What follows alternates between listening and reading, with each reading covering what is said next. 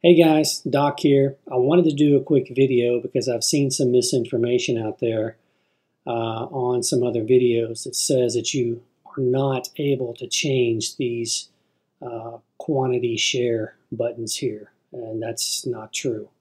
So I'm going to show you how to change that. First, I'm going to explain kind of how it works. So if your default quantity is 500, your first one's going to be, you know, 500, of course. And then uh, the next one's going to be a multiple of 3 the next one will be a multiple of 5, multiple of 10, and a multiple of 20. So if you have 100 shares here, you're obviously going to have a 100 here.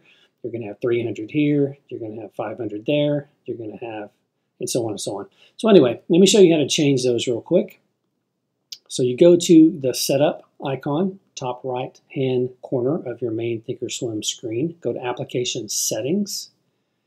Go to order defaults tab at the top there. And then, of course, you can change options and futures as well if you like. Uh, but here's your stocks. So let's change this default quantity of orders to 100. And keep in mind, you do not have to use one of these preset limits. If you want to put in there uh, 110, you can put in whatever you want. It doesn't have to be this default list. You can just put in any random number.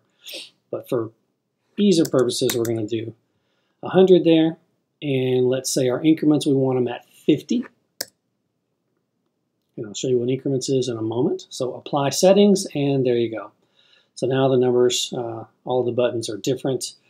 And as you see, we go up and down here, it's in 50 share increments, which is what we set it to. So again, it's going to be uh, your 100, what you selected, and then your uh, next one's going to be times 3 of that selected amount, times 5, times 10, and then times 20.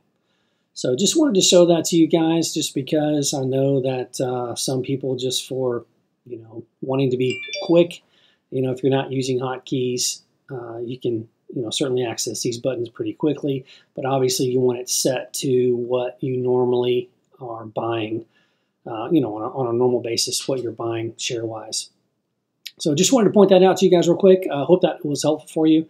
If it was, uh, please do me a favor and like and subscribe so that uh, this information can get out to other traders because I do believe that it's helpful. And as always, uh, happy trading to everyone.